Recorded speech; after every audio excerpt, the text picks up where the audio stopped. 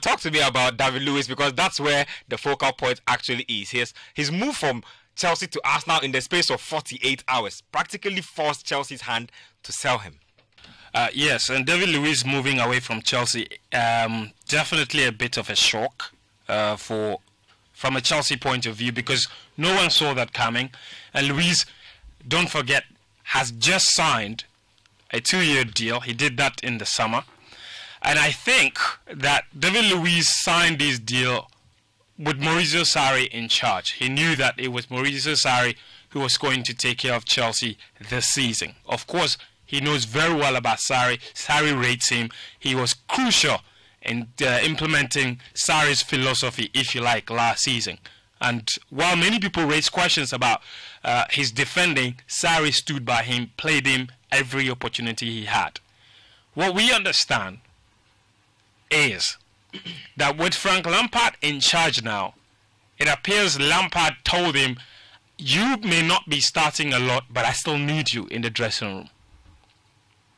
But that reality, it appears, is not something that David Luiz is ready to live with. Yeah. And he's opted to join Arsenal. But I'm not going to say that it's a bit of a surprise that he's going to Arsenal because he's done it before.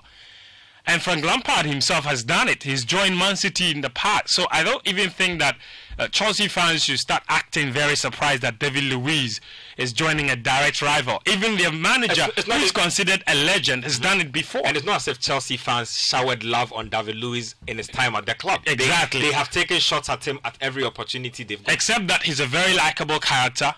He may not have been the best of defenders, but he's a very likable character. And until today, was seen as a true blue. Unfortunately, that's not happened, and his legacy will be a little bit tainted. Uh, with this particular exit, but Luiz will remain the only Chelsea player with the most European trophies in the club's history, with one Champions League trophy and two Europa League trophies. Not Lampard, not John Terry, not not John Terry. Say it as it is. Not, oh no, but it's the truth. Yes, it is. Not Didier Drogba. David Luiz. David He has, a, he has a few Premier League titles under his belt. Oh yes, he does. Fantastic. So you see, And you so- can't talk about somebody not being powerful. oh, but uh, no, no, no, but but you see, no, but that's the truth. But There that's is. Yeah, like, as it, I beg. no, as it stands now, there is no single Man United player with two, uh, with three European trophies. Who? That is not the issue. It's the issue. That's what you're trying to say. There is none.